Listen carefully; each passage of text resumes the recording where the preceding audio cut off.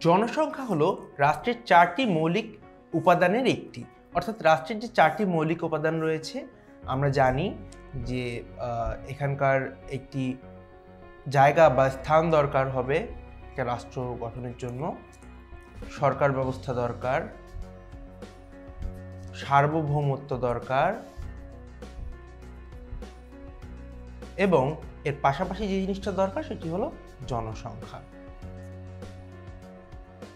অর্থাৎ একটি রাষ্ট্র গঠনের ক্ষেত্রে একটি অন্যতম গুরুত্বপূর্ণ মৌলিক উপাদান হলো জনসংখ্যা।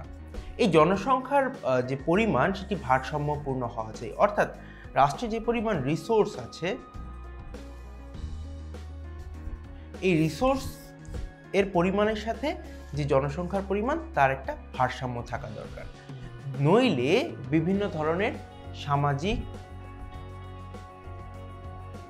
সমস্যার উদ্ভব ঘটবে। এবং অধিক জনসংখ্যা যেটা, সেটা হচ্ছে আসলে একটা দেশের জন্য বোঝা হয়ে দাঁড়ায়। অর্থাৎ আমার দেশে যদি ধারণ ক্ষমতা হয় দশ কোটি মানুষ ভালো মতো বাঁচতে পারে, তো সেখানে যদি বিশ কোটি মানুষ বসবাস করে, তাহলে আসলে সেটি দেশের জন্য একটি বোঝা হয়ে দাঁড়ায়।